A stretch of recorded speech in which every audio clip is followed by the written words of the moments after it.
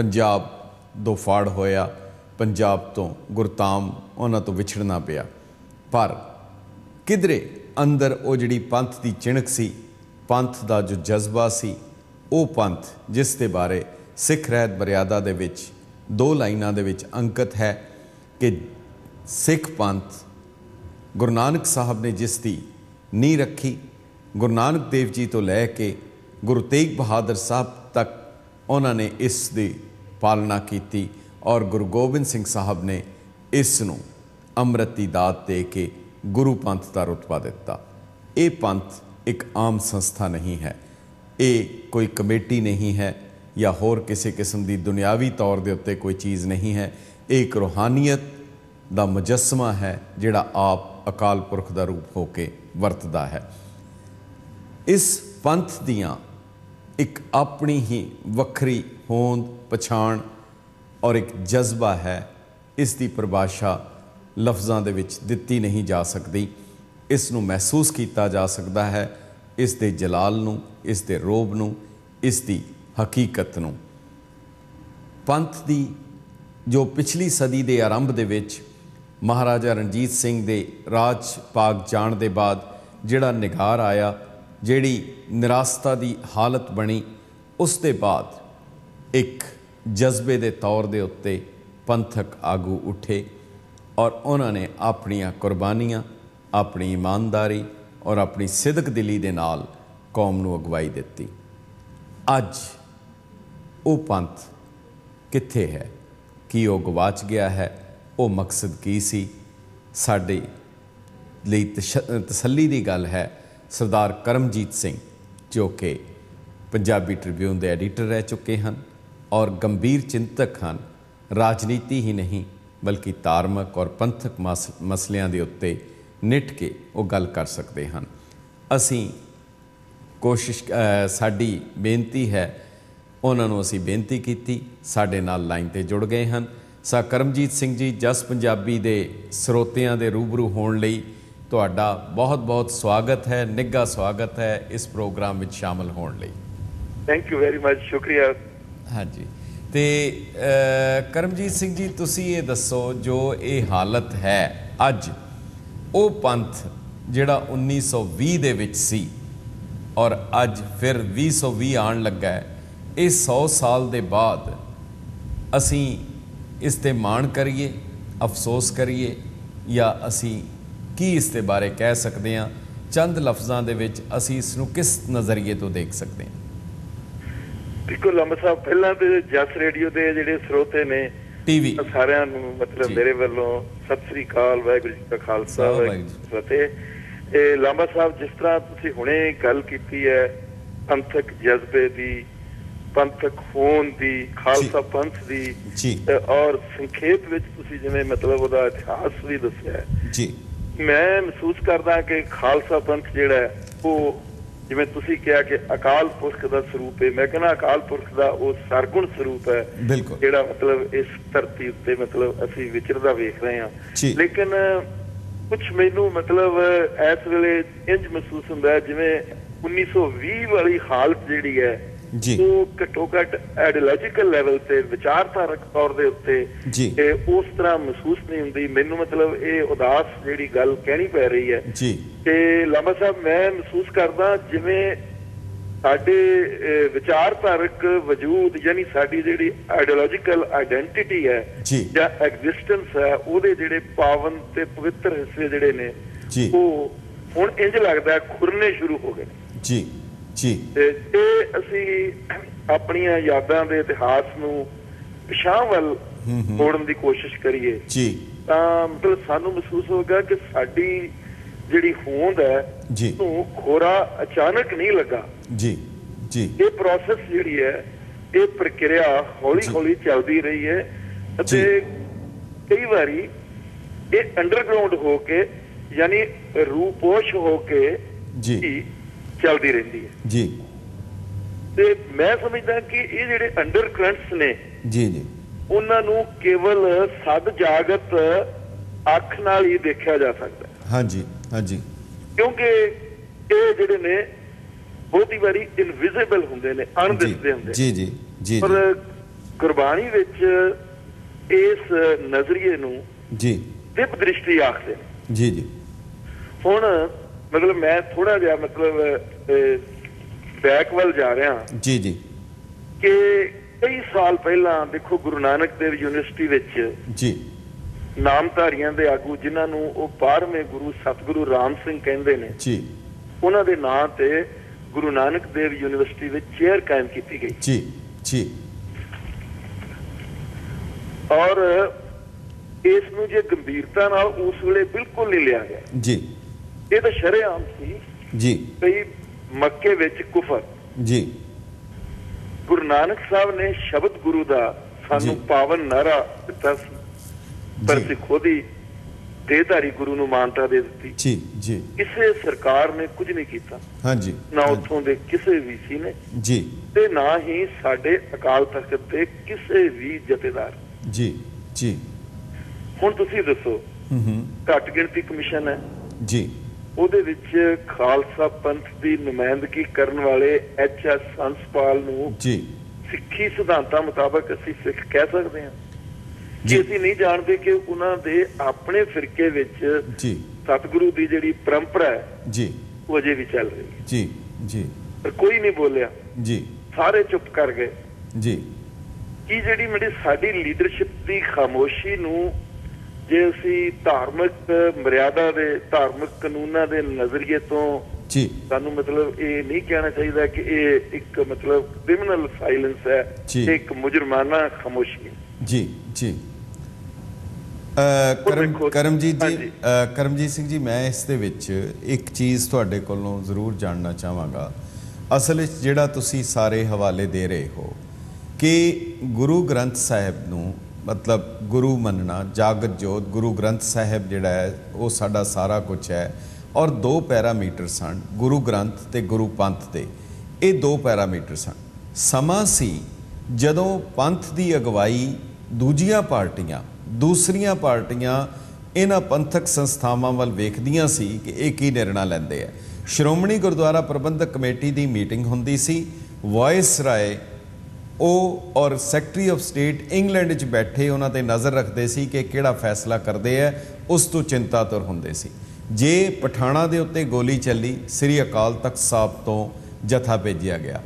ਹਾਲਾਂ ਆਰੀਆ ਸਮਾਜ ਸਿੱਖ ਵਿਰੋਧੀ ਸੀ, ਪਰ ਜੇ ਉਹਨਾਂ ਦੇ ਉੱਤੇ ਜ਼ੁਲਮ ਹైదరాబాద్ ਵਿੱਚ ਹੋਇਆ, ਉਹਨਾਂ ਦੀ ਇਮਦਾਦ ਲਈ ਜਥਾ ਗਿਆ। ਪਰ ਉਹ ਪੰਥ ਦੇ ਕਨਸੈਪਟ ਨੂੰ ਇਸ ਤਰ੍ਹਾਂ ਦੀ ਹਾਲਤ ਬਣਾ ਦਿੱਤੀ ਗਈ ਜਿਵੇਂ ਸਿੰਘ ਸਭਾ ਲਹਿਰ ਦੇ ਵਿੱਚ ਉਹਦੇ ਸ਼ੁਰੂ ਦੇ ਵਿੱਚ ਇਹ ਫੈਸਲਾ ਕੀਤਾ ਗਿਆ ਇੱਕ ਨਾਰਾ ਦਿੱਤਾ ਗਿਆ ਸਭ ਤੋਂ ਵੱਡੀ ਸਿੱਖ ਕੌਮ ਉਸ ਤੋਂ ਵੱਡੀ ਸਰਕਾਰ ਹੈ ਇੰਗਲਿਸ਼ੀਆ। ਕੀ ਉਸੇ ਤਰ੍ਹਾਂ ਦੀ ਹਾਲਤ ਨੂੰ ਪੰਥ ਦੀਆਂ ਸੰਸਥਾਵਾਂ ਨੂੰ ਬਿਲਕੁਲ ਜ਼ੇਰ ਕਰਕੇ ਇੱਕ ਰਾਜਨੀਤਿਕ ਪਾਰਟੀ ਦੇ ਉੱਤੇ ਕਰਕੇ ਉਹ ਖਤਮ ਨਹੀਂ ਕਰ ਦਿੱਤੀਆਂ ਗਈਆਂ? ਲਾਂਬਾ ਸਾਹਿਬ ਤੁਹਾਡਾ ਕੁਐਸਚਨ ਜਿਹੜਾ ਸਵਾਲ ਇੰਨਾ ਵਧੀਆ ਮਤਲਬ ਇੰਨਾ ਟੁਕਮਾ ਤੇ ਸਮੇਂ ਸਿਰ ਹੈ। ਜੀ। ਇਸ ਦਾ ਮਤਲਬ ਇੱਕ ਕਾਰਨ ਜਿਹੜਾ ਹੈ ਨਾ ਵੱਡਾ ਕਾਰਨ ਮੈਂ ਉਹ ਰਾਜਨੀਤਿਕ ਕਾਰਨ ਕਹਿਣਾ ਜੀ। ਕਿ ਸਿੱਖ ਸੰਗਠਨ ਦੀਆਂ ਇਹ ਹੇਠਲੀਆਂ ਸਫਾਂ ਵਿੱਚ ਜਿਹੜੀ ਹੈ ਜੀ ਜੀ। ਜਿਹੜੀ ਪੋਲੀਟੀਕਲ ਇੰਡੀਪੈਂਡੈਂਸ ਹੈ ਰਾਜਨੀਤਿਕ ਸੁਤੰਤਰਤਾ ਜੀ। ਧਾਰਮਿਕ ਅਣਖ ਜੀ। ਤੇ ਸਿੱਖੀ ਸਿਧਾਂਤਾਂ ਦਾ ਸੂਰਜ ਸਮਝ ਲਓ ਉਸ ਸਮੇਂ ਢਲਣਾ ਸ਼ੁਰੂ ਹੋ ਗਿਆ ਜਦੋਂ ਸਰਦਾਰ ਸੁਰਜੀਤ ਸਿੰਘ ਬਰਨਾਲਾ ਨੇ ਜੀ। ਅਕਾਲੀ ਦਲ ਉੱਤੇ ਵੀ ਹਾਂਜੀ। ਅਤੇ ਸਰਕਾਰ ਇਹਨਾਂ ਦੋਵਾਂ ਹੀ ਸੰਸਥਾਵਾਂ ਉੱਤੇ ਕਬਜ਼ਾ ਕਰ ਲਿਆ। ਜੀ। ਹੁਣ ਦੇਖੋ ਕੁਰਬਾਨੀਆਂ ਤੇ ਸੰਘਰਸ਼ਾਂ ਵਿੱਚੋਂ ਨਿਕਲੇ ਜਿਹੜੇ ਅਕਾਲੀ ਵਰਕਰ ਨੇ ਜੀ। ਉਹ ਰਾਜਨੀਤਿਕ ਵਰਾਂਡਿਆਂ ਵਿੱਚ ਚੱਕਰ ਮਾਰਨ ਲੱਗੇ। ਜੀ। ਤਾਂ ਉਹਨਾਂ ਦਾ ਧਾਰਮਿਕ ਜੀਵਨ ਸੀ। ਜਿਹੜਾ ਮਤਲਬ ਅਕਾਲੀ ਵਰਕਰਾਂ ਦਾ। ਉਹਨਾਂ ਦੀ ਤਰਜ਼ ਜ਼ਿੰਦਗੀ। ਉਹਨਾਂ ਦੀ ਗੁਫਤਾਰ ਤੇ ਰਫਤਾਰ ਰਾਜਨੀਤਿਕ ਆਗੂਆਂ ਦੀ ਗੁਲਾਮ ਜੀ ਜੀ। ਹੁਣ ਅਸੀਂ ਨਹੀਂ ਵੇਖਦੇ। ਤੁਸੀਂ ਦੇਖੋ ਵੱਡੇ ਵੱਡੇ ਅਕਾਲੀ ਬਜ਼ੁਰਗ ਮੈਂ ਅੱਖਾਂ ਨਾਲ ਵੇਖ ਰਿਹਾ। ਉਸ ਅਕਾਲੀ ਨੌਜਵਾਨ ਦੇ ਅੱਜ ਕੱਲ ਪੈਰੀ ਹੱਥ ਲਾਉਂਦੇ ਨੇ। ਜੋ ਅਜੇ ਸਿਆਸਤ ਵਿੱਚ ਨਵਾਂ ਨਵਾਂ ਹੀ। ਆਇਆ ਹੂੰ। ਅਤੇ ਜਿਸ ਦੀ ਰਾਜਨੀਤਿਕ ਦਿੱਖ ਵਿੱਚ ਸਿੱਖ ਧਰਮ ਦੇ ਜਿਹੜੇ ਪਵਿੱਤਰ ਤੱਤ ਨੇ ਉਸ ਦੀ ਰੂਹ ਅਜੇ ਪ੍ਰਗਟ ਨਹੀਂ ਹੋਈ। ਜੀ ਜੀ ਜੀ ਸਾਡੇ ਮੈਂ ਸਮਝਦਾ ਇੱਕ ਰੁਲ ਜਾਣ ਦਾ ਵੱਡਾ ਕਾਰਨ ਹੈ। ਜੀ। ਇੱਕ ਗੱਲ ਜੇ ਤੁਹਾਡੀ ਤੁਹਾਡੇ ਜਿਹੜੀ ਮਤਲਬ ਤੁਸੀਂ ਗੱਲ ਕੀਤੀ ਹੈ ਉਹਦੇ ਚ ਮੈਂ ਤੁਹਾਨੂੰ ਜੀ। ਹੋਰ ਪਿਛਾਂਹ ਵੱਲ ਲਿਜਾਵਾਂ ਪਿਛਲੀ ਸਦੀ ਵਿੱਚ ਇੱਕ ਬੜੀ ਵੱਡੀ ਰਾਜਨੀਤਿਕ ਹਸਤੀ ਦਾ ਮੈਂ ਇੱਥੇ ਜ਼ਿਕਰ ਕਰਨਾ ਚਾਹੁੰਦਾ। ਜੀ। ਉਹ ਉਹ ਸਨ ਮਾਸਟਰ ਤਾਰਾ ਜੀ। ਮੈਂ ਲਾਂਬਾ ਸਾਹਿਬ ਇਹ ਤਾਂ ਨਹੀਂ ਕਹਿੰਦਾ ਕਿ ਉਸ ਦੌਰ ਦੀਆਂ ਰਾਜਨੀਤਿਕ ਸਚਾਈਆਂ ਉੱਤੇ ਉਹਨਾਂ ਦੀ ਪੂਰੀ ਪੂਰੀ ਸ਼ਤ ਪ੍ਰਤੀਸ਼ਤ ਪਕੜ ਹੋਵੇਗੀ। ਜੀ। ਪਰ ਉਹਨਾਂ ਦੇ ਰਾਜਨੀਤਿਕ ਜੀਵਨ ਵਿੱਚ ਲਾਂਬਾ ਸਾਹਿਬ ਧਰਮ ਦੇ ਗੂੜੇ ਤੇ ਗਹਿਰ ਗੰਭੀਰ ਰੰਗ ਜਿਹੜੇ ਸੀ ਜੀ। ਉਹ ਮੈਂ ਆਪ ਮੌਜੂਦ ਵੇਖੇ ਮੌਜੂਦ। ਹੀ ਨਹੀਂ ਸਨ। ਜੀ। ਸਗੋਂ ਸਿੱਖੀ ਸਿਧਾਂਤ ਹੀ ਉਹਨਾਂ ਦੇ ਰਾਜਨੀਤਿਕ ਜੀਵਨ ਦੀ ਅਗਵਾਈ ਕਰਦੇ ਸਨ। ਜੀ। ਜੀ। ਤਿਆਗ ਤੇ ਸਾਦਗੀ ਵੀ ਹੈਰਾਨ ਕਰਨ ਵਾਲੀ ਸੀ। ਹੂੰ ਹੂੰ। ਮਤਲਬ ਕੀ ਤੁਸੀਂ ਮੰਨ ਸਕਦੇ ਹੋ ਕਿ ਸ਼੍ਰੋਮਣੀ ਕਮੇਟੀ ਦੀ ਗੱਡੀ ਵੀ ਨਹੀਂ ਸੀ ਵਰਤਦੇ? ਜੀ ਇਹ ਪਰੰਪਰਾ ਉਹਨਾਂ ਦੇ ਪਰਿਵਾਰ ਵਿੱਚ ਅੱਗੇ ਵੀ। ਚੱਲਦੀ ਰਹੀ ਹੈ। ਜੀ। ਪਰ ਹੁਣ ਇਹੋ ਜਿਹੇ ਜਿਹੜੇ ਰਾਜਨੀਤਿਕ ਤੇ ਧਾਰਮਿਕ ਚਮਤਕਾਰ ਜਿਹੜੇ ਨੇ ਜੀ। ਤੁਸੀਂ ਵਰਤਮਾਨ ਲੀਡਰਸ਼ਿਪ ਵਿੱਚ ਨਹੀਂ ਵੇਖੋਗੇ। ਨਹੀਂ ਕਰਮਜੀਤ ਜੀ ਗੱਲ ਇਹ ਹੈ ਕਿ ਇਸ ਢਾਂਚੇ ਦੇ ਵਿੱਚ ਮਾਹੌਲ ਵਿੱਚ। ਕਰਮਜੀਤ ਜੀ ਇਸ ਮੌਜੂਦਾ ਢਾਂਚੇ ਦੇ ਵਿੱਚ ਕੀ ਉਹ ਹਾਲਤ ਦੁਬਾਰਾ ਸੰਭਵ ਹੈ ਕਿਉਂਕਿ ਅਕਾਲੀ ਦਲ ਦਾ ਜਿਹੜਾ ਕਨਸਟੀਟਿਊਸ਼ਨਲ ਜਿਹੜਾ ਸਰੂਪ ਹੈ ਉਹ ਉਹਨਾਂ ਦੇ ਧਾਰਮਿਕ ਨਹੀਂ ਰਹਿ ਗਿਆ ਉਹ ਸੈਕੂਲਰ ਹੋ ਚੁੱਕਾ ਹੈਗਾ। ਧਾਰਮਿਕ ਜਥੇਬੰਦੀ ਨਹੀਂ ਹੈ। ਸੋ ਕੀ ਇਸ ਤੋਂ ਫਿਰ ਆਸ ਕਰਨੀ ਆਪਣੇ ਆਪ ਨੂੰ ਧੋਖਾ ਦੇਣਾ ਨਹੀਂ ਹੈ? ਨਹੀਂ ਮੈਂ ਮਤਲਬ ਚਲੋ ਇਸ ਅਕਾਲੀ ਦਲ ਦੀ ਜੇ ਮਤਲਬ ਜਿਹੜੀ ਆਪਣਾ ਬਾਦਲ ਸਾਹਿਬ ਤੇ ਆਪਣੇ ਸੁਖਬੀਰ ਬਾਦਲ ਹੁਣੀ ਅਗਵਾਈ ਕਰ ਰਹੇ ਨੇ ਨਹੀਂ ਮਤਲਬ ਮੈਂ ਕਿਹਾ ਕਿ ਤੁਸੀਂ ਹੁਣੇ ਜਿਹੜਾ ਜ਼ਿਕਰ ਸ਼ੁਰੂ ਵਿੱਚ ਕੀਤਾ ਸੀ ਸਿੰਘ। ਸਭਾ ਲਹਿਰ ਦਾ ਜੀ ਜੀ ਜੀ ਮੈਂ ਕਹਿੰਦਾ ਕਿ ਸਿੰਘ ਸਭਾ ਲਹਿਰ ਨਵੇਂ ਅੰਦਾਜ਼ ਵਿੱਚ ਜੀ ਨਵੀਂ ਰੋਸ਼ਨੀ ਦੇ ਵਿੱਚ ਭਰੀ ਮਤਲਬ ਮੁੜ ਆਰੰਭ ਹੋਣੀ ਚਾਹੀਦੀ ਹੈ। ਉਹ ਉਹ ਇੱਕ ਸ਼ਾਨਾ ਮਤਾ ਇਤਿਹਾਸ ਜਿਹੜਾ ਸਿੰਘ ਸਭਾ ਲਹਿਰ ਨੇ ਮਤਲਬ ਸਿਰਜਿਆ ਸੀ। ਜਿਹੜਾ ਹੁਣ ਅਸੀਂ ਮਤਲਬ ਸਾਹਮਣੇ ਨਹੀਂ ਵੇਖ ਰਹੇ।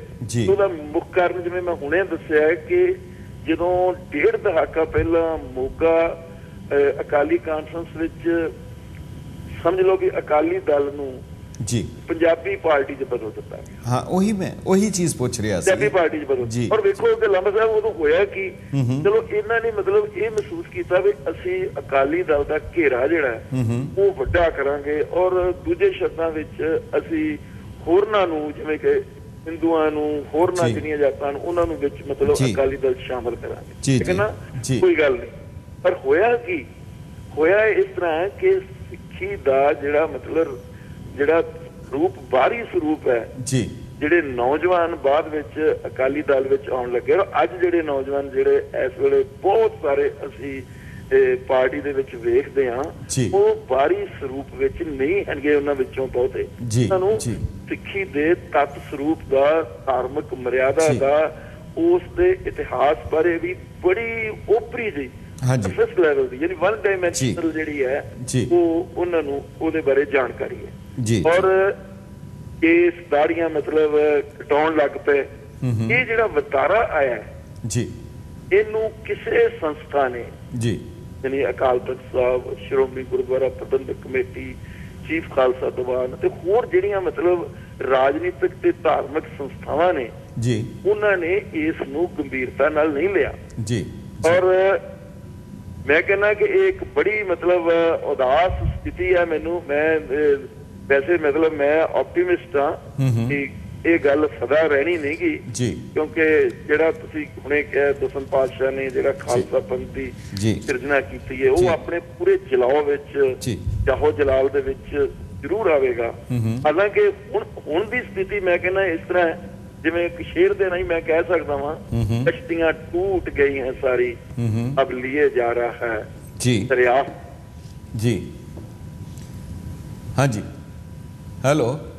ਹਾਂਜੀ ਹਾਂਜੀ। ਅੱਛਾ ਕਰਮਜੀਤ ਜੀ ਸਾਨੂੰ ਇੱਕ ਛੋਟਾ ਜਿਹਾ ਬ੍ਰੇਕ ਲੈਣਾ ਪੈਣਾ ਹੈ ਔਰ ਕਾਫੀ ਤੁਸੀਂ ਇਤਿਹਾਸਕ ਰਾਜਨੀਤਿਕ ਔਰ ਇਹਦਾ ਵਿਸ਼ਲੇਸ਼ਣ ਕਰ ਰਹੇ ਹੋ। ਇਸ ਤੋਂ ਬਾਅਦ ਇੱਕ ਬਹੁਤ ਹੀ ਅਹਿਮ ਮਰਹਲੇ ਦੇ ਉੱਤੇ ਮੈਂ ਤੁਹਾਡੇ ਨਾਲ ਵਿਚਾਰ ਸਾਂਝੇ ਕਰਾਂਗਾ। ਤੇ ਇੱਕ ਛੋਟਾ ਜਿਹਾ ਬ੍ਰੇਕ ਉਸ ਤੋਂ ਬਾਅਦ ਅਸੀਂ ਮੁੜ ਜਸ ਪੰਜਾਬੀ ਦੂਰਦਰਸ਼ਨ ਤੇ ਅ, ਦਰਸ਼ਕਾਂ ਦੇ ਰੂਬਰੂ ਹੁੰਨੇ ਹਾਂ। ਜੀ ਇੱਕ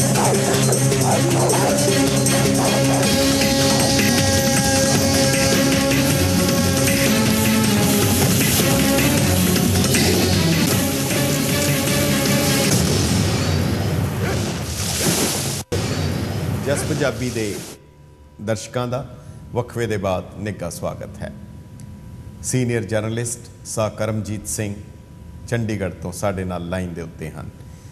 ਅਸੀਂ ਗੱਲ ਕਰ ਰਹੇ ਸੀ ਪੰਥ ਜੋ ਹੁੰਦਾ ਸੀ, ਪੰਥ ਜੋ ਇਸ ਨਾਂ ਥੱਲੇ ਅੱਜ ਹੈ। ਦਰਅਸਲ ਜਿਵੇਂ ਸ਼ੁਰੂ ਦੇ ਵਿੱਚ ਬੇਨਤੀ ਕੀਤੀ, ਪੰਥ ਇੱਕ ਜਜ਼ਬਾ ਸੀ ਔਰ ਇੱਕ ਗੱਲ ਅਸੀਂ ਨਿਰਾਸ਼ਾਵਾਦੀ ਨਹੀਂ, ਇਹ ਪੰਥ ਕਿਸੇ ਵਿਅਕਤੀ ਦਾ ਬਣਾਇਆ ਨਹੀਂ ਕੁਝ ਬੰਦਿਆਂ ਨੇ ਇਕੱਠੇ ਹੋ ਕੇ ਇਸ ਨੂੰ ਨਹੀਂ ਬਣਾਇਆ ਇਹ ਤਾਂ ਆਗਿਆ ਪਈ ਅਕਾਲ ਕੀ ਤਬੈ ਚਲਾਇਓ ਪੰਥ ਹੈ। ਗੁਰੂ ਗੋਬਿੰਦ ਸਿੰਘ ਸਾਹਿਬ ਦਾ ਇੱਕ ਬਚਨ ਹੈ, ਪੰਥ ਖਾਲਸਾ ਖੇਤੀ ਮੇਰੀ, ਹਉ ਸੰਭਾਲ ਕਰੋ ਤਿਸ ਕੇਰੀ। ਇਹ ਵਾਦਾ ਇਹ ਦਾਵਾ ਗੁਰੂ ਗੋਬਿੰਦ ਸਿੰਘ ਸਾਹਿਬ ਦਾ ਹੈ। ਔਰ ਇਸ ਪੰਥ ਦੇ ਅੰਦਰ ਜਿਹੜਾ ਜਜ਼ਬਾ ਹੈ, ਮੈਂ ਕੇਵਲ ਇੱਕ ਛੋਟਾ ਜਿਹਾ ਉਦਾਹਰਣ ਦੇਣਾ ਚਾਹਾਂਗਾ। ਹਰੀ ਰਾਮ ਗੁਪਤਾ ਨੇ ਸਿੱਖ ਇਤਿਹਾਸ ਬਾਰੇ ਹਿਸਟਰੀ ਆਫ ਦਾ ਸਿੱਖਸ ਪੰਜ ਵਾਲੀਅਮ ਵਿੱਚ ਲਿਖੀ। ਉਹਦੇ ਸ਼ੁਰੂ ਦੇ ਵਿੱਚ ਉਹਨਾਂ ਨੇ ਇੱਕ ਘਟਨਾ ਜਿਹੜੀ ਸਹੀ ਘਟਨਾ ਹੈ ਅੰਕਿਤ ਕੀਤੀ ਸਿੱਖ ਰਾਜ ਦੇ ਜਾਣ ਤੋਂ ਬਾਅਦ। ਇਹ ਜਜ਼ਬਾ ਹੈ। ਜਜ਼ਬੇ ਦਾ ਨਾਮ ਪੰਥ ਹੈ। ਪੰਥ ਜਜ਼ਬਾ ਹੈ। ਹਰੀ ਰਾਮ ਗੁਪਤਾ ਲਿਖਦੇ ਹਨ ਕਿ ਦੋ ਸਿੱਖਾਂ ਨੂੰ ਫੜ ਕੇ ਲਾਹੌਰ ਤੋਂ ਕਲਕੱਤੇ ਲੈ ਗਏ ਔਰ ਗਵਰਨਰ ਜਨਰਲ ਦੇ ਕੋਲ ਉਹਨਾਂ ਨੂੰ ਪੇਸ਼ ਕੀਤਾ। ਗਵਰਨਰ ਜਨਰਲ ਉਹਨਾਂ ਨੂੰ ਕਹਿਣ ਲੱਗਾ, ਤੁਹਾਨੂੰ ਪਤਾ ਹੈ ਤੁਸੀਂ ਕਿਸ ਤਾਕਤ ਦੇ ਨਾਲ ਲੜ ਰਹੇ ਸੀ? ਉਹ ਕਹਿਣ ਲੱਗੇ, ਸਾਨੂੰ ਪਤਾ ਹੈ। ਵਾਇਸਰਾਏ ਕਹਿਣ ਲੱਗਾ, ਤੁਹਾਡਾ ਨਿਸ਼ਾਨਾ ਕੀ ਹੈ? ਉਹ ਸਿੱਖ ਕਹਿਣ ਲੱਗੇ, ਸਾਡਾ ਨਿਸ਼ਾਨਾ ਹੈ, ਅਸੀਂ ਲੰਡਨ ਦੇ ਉੱਤੇ ਕਬਜ਼ਾ ਕਰਨਾ ਹੈ। ਵਾਇਸਰਾਏ ਬੜਾ ਹੈਰਾਨ ਹੋਇਆ। ਕਹਿਣ ਲੱਗਾ, ਤੁਹਾਨੂੰ ਪਤਾ ਹੈ ਲੰਡਨ ਇੱਥੋਂ ਕਿੰਨੀ ਦੂਰ ਹੈ? ਉਹ ਕਹਿਣ ਲੱਗੇ, ਕਿਉਂ ਨਹੀਂ ਪਤਾ? ਸਾਨੂੰ ਪਤਾ ਹੈ, ਇੱਥੋਂ ਸੱਤ ਸਮੁੰਦਰ ਪਾਰ ਹੈ। ਉਹ ਕਹਿਣ ਲੱਗਾ, ਫਿਰ ਤੁਸੀਂ ਉੱਥੇ ਪਹੁੰਚੋਗੇ ਕਿੱਦਾਂ?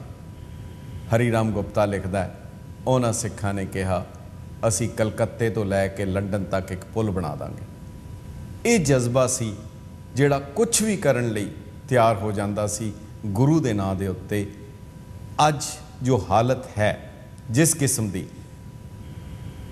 ਪਰ ਇੱਕ ਗੱਲ ਫਿਰ ਵੀ ਬੜੀ ਅਜੀਬ ਹੈ। ਸਾ ਕਰਮਜੀਤ ਸਿੰਘ ਜੀ, ਮੈਂ ਆਪ ਨਾਲ ਸਾਂਝੀ ਕਰਨੀ ਚਾਹੁੰਦਾ ਔਰ ਇਹਦਾ ਚਾਹਾਂਗਾ ਤੁਸੀਂ ਇਹਦੇ ਤੇ ਕਰੋ, ਇਤਨੀ ਨਿਰਾਸ਼ਾਵਾਦੀ ਹਾਲਤ ਦੇ ਬਾਵਜੂਦ ਕੀ ਵਾਹਿਗੁਰੂ ਦੀ ਅਦ੍ਰਿਸ਼ ਕਲਾ ਨਹੀਂ ਵਾਪਰੀ, ਇਹ ਕੀ ਕਰਿਸ਼ਮਾ ਨਹੀਂ, ਕਿ ਭਾਰਤੀ ਜਨਤਾ ਪਾਰਟੀ ਦੇ ਲਾਲ ਕ੍ਰਿਸ਼ਨ ਅਡਵਾਨੀ ਨੇ, ਉਹਨਾਂ ਦੀ ਸਰਕਾਰ ਨੇ ਸ਼੍ਰੋਮਣੀ ਕਮੇਟੀ ਦੇ ਵਿੱਚ ਜਿਹੜੀ ਘੁਸਪੈਠ ਕਰਨ ਲਈ ਸਹਿਜਧਾਰੀ ਦੇ ਨਾਂ ਦੇ ਥੱਲੇ ਗੈਰ ਸਿੱਖ ਵੋਟਾਂ ਜਿਹੜੀਆਂ ਪਾਈਆਂ ਗਈਆਂ ਸੀ ਐਲਕੇ ਅਡਵਾਨੀ ਦੇ ਰਾਜਕਾਲ ਵਿੱਚ ਉਹ ਐਕਟ ਵਿੱਚ ਤਰਮੀਮ ਕਰਕੇ ਉਹ ਹਟਾਈਆਂ ਗਈਆਂ। ਪਹਿਲੀ।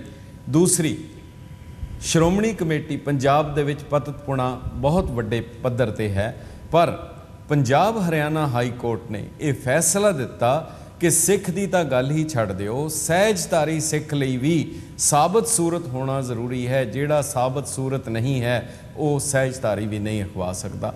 ਕੀ ਇਹਨਾਂ ਦੋਨਾਂ ਨੂੰ ਅਸੀਂ ਵਾਹਿਗੁਰੂ ਦੀ ਅਦ੍ਰਿਸ਼ ਕਲਾ ਮੰਨੀਏ? ਔਰ ਤੀਸਰੀ ਚੀਜ਼, ਜਿਹੜੀ ਇੱਕ ਬੜੀ ਵੱਡੀ ਪਹਿਲਾਂ ਕਿਹਾ ਜਾਂਦਾ ਸੀ ਕਿ ਯਥਾ ਰਾਜਾ ਤਥਾ ਪਰਜਾ, ਰਾਜੇ ਦਾ ਹਾਲ ਬੜਾ ਮਾੜਾ। ਪਰ ਮੈਨੂੰ ਜਾਪਦਾ ਹੈ, ਕਿ ਹੁਣ ਅਸੀਂ ਕਹਿ ਸਕਦੇ ਹਾਂ, ਯਥਾ ਪਰਜਾ ਤਥਾ ਰਾਜਾ, ਜਿਉ ਜੇ ਲੋਕ ਹਨ ਉਦਾਂ ਦੇ ਸਾਡੇ ਆਗੂ ਹੋਣਗੇ ਉਦਾਂ ਦੇ ਹਾਕਮ ਹੋਣਗੇ। ਜਿਹੜੀ ਗੱਲ ਗੁਰੂ ਨਾਨਕ ਸਾਹਿਬ ਨੇ ਕਹੀ ਸੀ, ਕੂੜ ਰਾਜਾ, ਕੂੜ ਪਰਜਾ, ਕੂੜ ਸਭ ਸੰਸਾਰ, ਕਿ ਆਗੂਆਂ ਨੂੰ ਬਲੇਮ ਦੇ ਕੇ, ਆਗੂਆਂ ਦੇ ਉੱਤੇ ਗੱਲ ਕਰਕੇ ਅਸੀਂ ਤਸੱਲੀ ਕਰ ਲਈਏ? ਕਿ ਆਮ ਥੱਲੇ ਪੱਧਰ ਦੇ ਉੱਤੇ ਆਮ ਸਿੱਖਾਂ ਦੀ ਹਾਲਤ ਜਿਹੜੀ ਹੈ, ਉਹਦੇ ਲਈ ਜ਼ਿੰਮੇਵਾਰ ਨਹੀਂ ਹੈ? ਇਹ ਸਾਰੇ ਜਿਹੜੇ ਨੁਕਤੇ ਹਨ ਜੇ ਇਹਨਾਂ ਬਾਰੇ ਤੁਸੀਂ ਅਗਰ ਵਿਸ਼ਲੇਸ਼ਣ ਕਰ ਸਕੋ ਤੇ। ਲਾਮਾ ਸਾਹਿਬ ਪਹਿਲਾਂ ਤੁਸੀਂ ਡਾਕਟਰ ਹਰੀਰਾਮ ਗੁਪਤਾ ਦੀ ਗੱਲ ਕੀਤੀ ਸੀ। ਮੇਰਾ ਮੈਨੂੰ ਵੀ ਯਾਦ ਆ ਗਿਆ ਡਾਕਟਰ ਹਰੀਰਾਮ ਗੁਪਤਾ ਨੇ ਜੀ। ਆਪਣੇ ਸਿੱਖ ਇਤਿਹਾਸ ਦੇ ਇੱਕ ਵੋਲਿਊਮ ਦੇ ਵਿੱਚ ਸ਼ੁਰੂ ਵਿੱਚ ਇਹ ਗੱਲ ਕੀਤੀ ਕਿ ਸਿੱਖਾਂ ਦੀ ਜਜ਼ਬੇ ਦੇ ਬਾਰੇ ਜੀ। ਕਿ ਉਹਨਾਂ 'ਚ ਪੰਥਕ ਜਜ਼ਬਾ ਕਿਸ ਤਰ੍ਹਾਂ ਦਾ ਹੈ। ਜੀ। ਉਹ ਕਹਿੰਦੇ ਕਿ ਉਹ ਉਹ ਅਸਲ 'ਚ 18th ਸੈਂਚੁਰੀ ਜਿਹੜੀ 18ਵੀਂ ਸਦੀ ਦੇ ਇਤਿਹਾਸ ਦਾ ਜ਼ਿਕਰ ਕਰ ਰਹੇ ਸਨ। ਹਾਂਜੀ ਹਾਂਜੀ। ਕਿ ਜਦੋਂ ਸਿੱਖ ਜਿਹੜੇ ਨੇ। ਉਹ ਖੁੱਲੇ ਅਸਮਾਨ ਦੇ ਹੇਠ ਮਤਲਬ ਰਹਿ ਰਹੇ ਸਨ। ਹੂੰ ਹੂੰ। ਤਾਂ ਉਹਨਾਂ ਦੇ ਜਿਹੜੇ ਹਿਰਦੇ ਨੇ ਜੀ। ਉਹ ਵੀ ਉਹਦੇ ਹੀ ਵਿਸ਼ਾਲ ਹੋ ਗਏ ਅਸਮਾਨ ਜਿੱਡੇ। ਹੂੰ ਹੂੰ। ਯਾਨੀ ਇਹ ਪੰਥਕ ਜਜ਼ਬਾ ਇਹ ਮਤਲਬ ਇੰਨਾ ਵਿਸ਼ਾਲ ਇੰਨੀ ਵਿਸ਼ਾਲਤਾ ਆਪਣੇ ਆਪ ਵਿੱਚ ਰੱਖਦਾ ਸੀ ਜੀ ਹਰੀਰਾਮ ਗੁਪਤਾ ਨੂੰ ਵੀ ਮਤਲਬ ਇਹ ਇਤਿਹਾਸ ਕਹਿਣਾ ਪਿਆ। ਜੀ ਜੀ। ਦੂਜੀ ਗੱਲ ਤੁਸੀਂ ਸਹਿਜਧਾਰੀਆਂ ਬਾਰੇ ਗੱਲ ਕੀਤੀ ਹੈ। ਮੈਂ ਇਸ ਗੱਲ ਨਾਲ ਬਿਲਕੁਲ ਸਹਿਮਤ ਹਾਂ ਔਰ ਲਗਭਗ ਮੈਂ ਤਕਰੀਬਨ ਅਦਾਲਤ ਦੇ ਵਿੱਚ ਉਹ ਜਦੋਂ ਸੁਣਵਾਈ ਹੁੰਦੀ ਸੀ ਇਸ ਕੇਸ ਦੀ ਤਕਰੀਬਨ ਬਹੁਤ ਸਾਰੀਆਂ ਹੀਅਰਿੰਗ ਦੇ ਵਿੱਚ ਮੈਂ ਉੱਥੇ ਹਾਜ਼ਰ ਸੀਗਾ। ਹਾਂਜੀ। ਔਰ ਬਕਾਇਦਾ ਸਹਿਜਧਾਰੀਆਂ ਦੀ ਮੈਂ ਇਸ ਗੱਲ ਨਾਲ ਸਹਿਮਤ ਹਾਂ ਕਿ ਸਹਿਜਧਾਰੀ ਦੇ ਨਾਂ ਹੇਠਾਂ ਜੀ ਜੀ। ਇਹ ਜਿਹੜੀ ਪੰਥ ਵਿੱਚ ਕੋਸਟੈਟ ਕੀਤੀ ਜਾ ਰਹੀ ਸੀਗੀ ਇੱਕ ਚਮਤਕਾਰ ਹੀ ਹੋਇਆ। ਚਲੋ ਮੈਂ ਹਾਈ ਕੋਰਟ ਦੇ ਇਸ। ਡਿਸੀਜਨ ਦੇ ਉੱਤੇ ਬਹੁਤ ਹੀ ਮਹਿਸੂਸ ਕੀਤੀ। ਘੱਟੋ ਘੱਟ ਮਤਲਬ ਸਹਿਜਤਾਰੀ ਦੀ ਉਹਨਾਂ ਨੇ ਜਿਹੜੀ ਪਰਿਭਾਸ਼ਾ ਦਿੱਤੀ ਵੀ ਉਹਦੇ ਵਿੱਚ ਵੀ ਉਹਨਾਂ ਨੂੰ ਮਤਲਬ ਜਿਹੜੀ ਹੈ ਉਹ ਧਾਰਮਿਕ ਮਰਿਆਦਾ ਜਿਹੜੀ ਸਿੱਖੀ ਹੈ ਉਹ ਰੱਖਣੀ ਪਵੇਗੀ। ਜੀ। ਮੈਂ ਸਮਝਦਾ ਕਿ ਇਹ ਸਾਰਾ ਕੁਝ ਜਿਹੜਾ ਸ਼੍ਰੋਮਣੀ ਕਮੇਟੀ ਦੀ ਲੀਡਰਸ਼ਿਪ ਵਿੱਚ ਬਹੁਤ ਮਤਲਬ ਨਿਗਾਰ ਹੈ। ਜੀ ਜੀ। ਦੋ ਤਿੰਨ ਗੱਲਾਂ ਜਿਹੜੀਆਂ ਸਾਹਮਣੇ ਆ ਰਹੀਆਂ ਨੇ। ਜੀ। ਹੁਣ ਤੁਸੀਂ ਦੇਖੋ ਕੁਝ ਚਿਰ ਪਹਿਲਾਂ ਜੀ। ਜਿਹੜਾ ਬਹੁਤ ਰੌਲਾ ਪਿਆ ਸੀ ਚਰਚਾ ਦਾ ਵਿਸ਼ਾ ਬਣਿਆ ਕਿ ਸ਼੍ਰੋਮਣੀ ਕਮੇਟੀ ਨੇ ਹੀ ਹਿੰਦੀ ਵਿੱਚ ਇੱਕ ਇਤਿਹਾਸ ਛਾਪਿਆ ਸਿੱਖਾਂ ਦਾ। ਜੀ। ਔਰ ਉਹਦੇ ਵਿੱਚ ਹੀ ਇੰਨੀਆਂ ਇਤਰਾਜ਼ਯੋਗ ਗੱਲਾਂ ਗੁਰੂ। ਸਾਹਿਬਾਨ ਬਾਰੇ ਜੀ। ਸਿੱਖ ਪੰਥ ਬਾਰੇ। ਲਿਖੀਆਂ ਔਰ ਪਤਾ ਨਹੀਂ ਲੱਗਦਾ ਕਿ ਉਹ ਸਾਰਾ ਇਤਿਹਾਸ ਕਿੰਨੇ ਲਿਖਿਆ ਉਹਦੀ ਉਹਦੀ ਭੂਮਿਕਾ ਵੀ ਕਿਸੇ ਨੇ ਨਹੀਂ ਲਿਖੀ। ਜੀ ਜੀ ਜੀ। ਸ਼੍ਰੋਮਣੀ ਕਮੇਟੀ ਦਾ ਵੀ ਉਹਦੇ ਵਿੱਚ ਕੋਈ ਇਹਦਾ ਨਾਂ ਨਹੀਂ ਆਇਆ ਵੀ ਇਹ ਅਸੀਂ ਇਹ ਇੱਕ ਜ਼ਿੰਮੇਵਾਰੀ ਨਾਲ ਮਤਲਬ ਇਹ ਜਿਹੜੀ ਹੈ ਕਿਤਾਬ ਜਿਹੜੀ ਹੈ ਰਿਲੀਜ਼ ਕਰ ਰਹੇ ਹਾਂ। ਔਰ ਫਿਰ ਉਸ ਦੀਆਂ ਬਹੁਤ ਸਾਰੀਆਂ ਕਾਪੀਆਂ ਜਿਹੜੀਆਂ ਨੇ ਆਰਐਸਐਸ ਦੇ ਹੈੱਡਕੁਆਟਰ ਦੇ ਉੱਤੇ ਮਤਲਬ ਜਿਹੜੀਆਂ ਨੇ ਉਹ ਨਾਗਪੁਰ ਚ ਵਿਕਦੀਆਂ ਜਿਹੜੀਆਂ ਨੇ। ਉੱਥੇ ਜਿਹੜੀਆਂ ਉਹ- ਉਹਦਾ ਮਤਲਬ ਸਲਾਹ ਜਿਹੜਾ ਜੀ ਵੰਡੀਆਂ ਗਈਆਂ। ਇਹ ਸਾਰਾ ਕੁਝ ਕਿਵੇਂ ਵਾਪਰਿਆ। ਇੱਕ ਬੜੀ ਹੈਰਾਨੀ ਦੀ ਗੱਲ ਹੈ ਔਰ ਇਸ ਦੀ ਮਤਲਬ ਜਾਂਚ ਹੋਣੀ ਚਾਹੀਦੀ ਹੈ। ਸ਼੍ਰੋਮਣੀ ਕਮੇਟੀ ਦਾ ਹੀ ਵਾਈਸ ਪ੍ਰੈਜ਼ੀਡੈਂਟ ਜਿਹੜਾ ਜੀ ਆ ਸਾਬਕਾ ਜਿਹੜਾ ਵਾਈਸ ਪ੍ਰੈਜ਼ੀਡੈਂਟ ਸੀ ਉਹਦੀ ਕਾਰ ਵਿੱਚੋਂ ਸ਼ਰਾਬ ਦੀਆਂ ਬੋਤਲਾਂ ਨਿਕਲੀਆਂ ਜੀ। ਔਰ ਕਿਸੇ ਨੇ ਉਸ ਘਟਨਾ ਦੀ ਮਤਲਬ ਜਾਂਚ ਨਹੀਂ ਕੀਤੀ ਹੁਣ ਦੇਖੋ ਗੁਰਾਇਆ ਦੇ ਨੇੜੇ ਜੀ। YouTube ਦੇ ਉੱਤੇ ਵੀ ਤੁਸੀਂ ਵੇਖ ਸਕਦੇ ਹੋ। ਉੱਥੇ ਕਾਨਾ ਸੰਗ ਢੇਸੀਆਂ ਪਿੰਡ ਹੈ। ਜੀ। ਉਸ ਪਿੰਡ ਦੀ ਹਾਲਤ ਵੇਖੋ ਇਸ ਤਰ੍ਹਾਂ ਦੀ ਕਿ ਉੱਥੇ ਗੁਰੂ ਗ੍ਰੰਥ ਸਾਹਿਬ ਦੀ ਹਾਜ਼ਰੀ ਦੇ ਵਿੱਚ ਜੀ। ਇੱਕ ਧਾਰਮਿਕ ਇਕੱਤਰਤਾ ਵਿੱਚ ਜੀ। ਭੰਗੜਾ ਪੈਂਦਾ ਉੱਥੇ। ਜੀ। ਔਰ ਇੱਕ ਪੌਂਟਾ ਸਾਹਿਬ ਦਾ ਇੱਕ ਰਾਗੀ ਜਿਹੜਾ ਹੈ ਜਸਬੀਰ ਉਹ ਸਿੰਘ। ਇਸ ਨੂੰ ਇੰਜੋਏ ਕਰ ਰਿਹਾ ਜਸਬੀਰ ਸਿੰਘ ਪੌਂਟਾ ਸਾਹਿਬ। ਜਾਂ ਜੁਰਤ ਨਹੀਂ ਜੀ। ਕਿ ਉਹ ਰੋਕੇ ਵੀ ਇਹ ਇੱਕ ਮਰਿਆਦਾ ਦੀ ਸਾਰ ਸ਼ਰੇਆਮ ਜੀ। ਚਿੱਟੀ ਉਲੰਘਣਾ ਜੀ ਹੁਣੇ ਇਹ ਜੇ ਥੋੜੇ ਦਿਨ 10 ਕੁ 12 ਦਿਨ ਹੋਏ ਨੇ ਲੁਧਿਆਣਾ ਤੋਂ ਇੱਕ ਰੋਜ਼ਾਨਾ ਅਖਬਾਰ ਹੈ ਪਹਿਰੇਦਾਰ ਉਹਦੇ ਵਿੱਚ ਮੈਂ ਇਹ ਖਬਰ ਪੜ੍ਹੀ ਕਿ ਉੱਥੇ ਇੱਕ ਧਾਰਮਿਕ ਇਕੱਤਰਤਾ ਗੁਰੂ ਗ੍ਰੰਥ ਸਾਹਿਬ ਦੀ ਹਾਜ਼ਰੀ ਵਿੱਚ ਹੋਈ ਹੈ। ਔਰ ਬਹੁਤ ਸਾਰੇ ਜਿਹੜੇ ਨੌਜਵਾਨ ਨੇ। ਉਹ ਨੰਗੇ ਸਿਰ ਬੈਠੇ ਹੋਏ। ਹੂੰ ਹੂੰ ਔਰ ਉਹਦੇ ਵਿੱਚ ਕਿਸੇ ਰਾਗੀ ਨੇ ਕਿਸੇ ਗ੍ਰੰਥੀ ਨੇ ਕਿਸੇ ਭਾਈ ਸਾਹਿਬ ਨੇ ਉਹਨਾਂ ਨੂੰ ਰੋਕਿਆ ਨਹੀਂਗਾ ਉਹਨਾਂ। ਬੱਚਿਆਂ ਨੂੰ ਸ਼ਾਇਦ ਪਤਾ ਨਾ ਹੋਵੇ ਜੀ ਮਰਿਆਦਾ ਦਾ। ਪਰ ਇੱਥੋਂ ਤੱਕ ਜਿਹੜੀ ਹੈ ਹਾਲਤ ਜਿਹੜੀ ਹੈ ਮਤਲਬ ਨਿਗਰ ਗਈ ਹੈ ਸ਼੍ਰੋਮਣੀ ਕਮੇਟੀ ਦੀ ਲੀਡਰਸ਼ਿਪ ਦੇ ਵਿੱਚ ਵੀ। ਇੰਨੀ ਹਿੰਮਤ ਨਹੀਂ ਅਕਾਲ ਤਖਤ ਸਾਹਿਬ ਦੀ ਸੰਸਥਾ ਵੀ।